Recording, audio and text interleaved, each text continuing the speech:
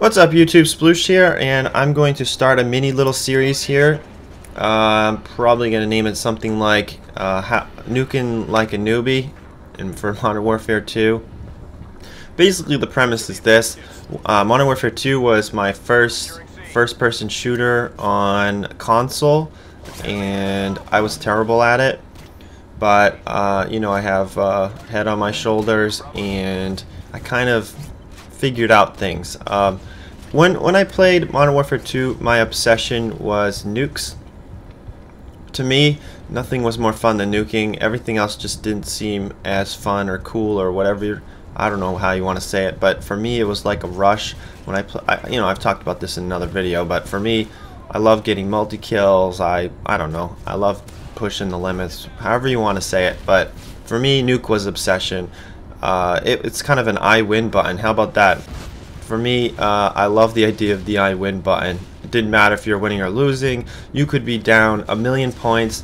It, all hope could be lost. Then, whoa, you just got a nuke and won the game for your team. How cool is that? So, moving on.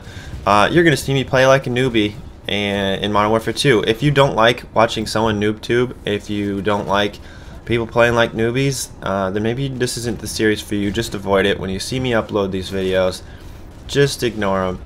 I gotta say though, it's been a lot easier for me lately. I mean, I haven't played Modern Warfare in a long time. When I come back to it, it's it just feels like such an easy game now, and I, I'm sure it has a lot to do with maybe me getting better, but it might be because people playing now are not very good. But, uh, you know, uh, me using the noob tube, I'm gonna do this. I've already got like four or so videos, and I've nuked a lot already just for fun. And uh, wow, I should have died there. That would have been it. it.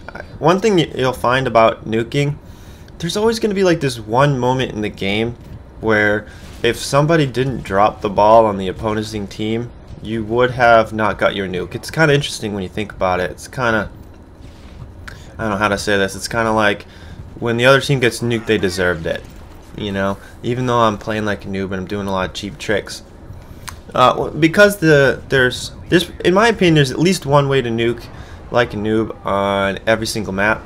I'm probably gonna end up doing maybe even like two videos one for each side of the map.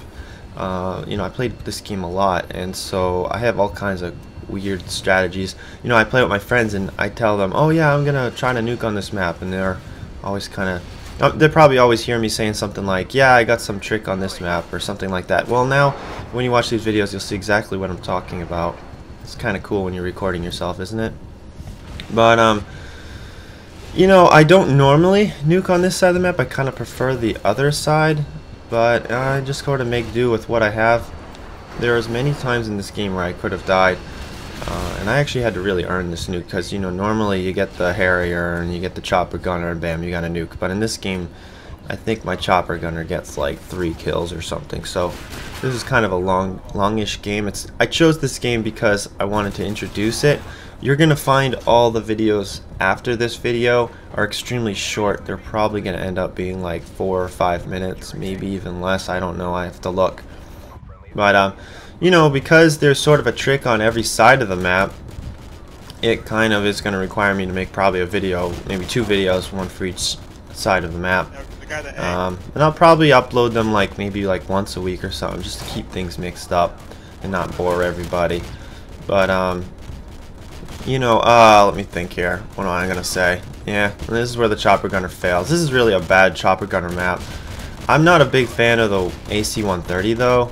I don't know. I I think the AC-130 can be better than the chopper gunner, but I just like the point and click of the chopper gunner. I feel like there's a whole finesse behind the AC-130, and keep in mind the concept here. This is uh, nuking like a noob, and uh, you know maybe the AC-130 is just a little, it, or was or is a little complicated for me, and I just have no interest right now in really learning it. I think the AC-130 is coming back in Modern Warfare 3, so you know maybe I'll put some time into trying to figure that thing out, but I've only used the AC-130 to unlock all the kill streaks.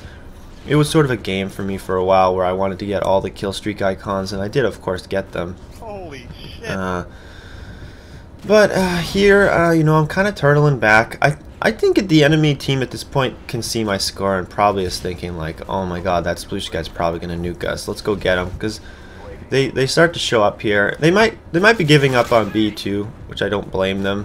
You know, look at me bouncing grenades. I just wanted to see, I guess, if I could do it or not.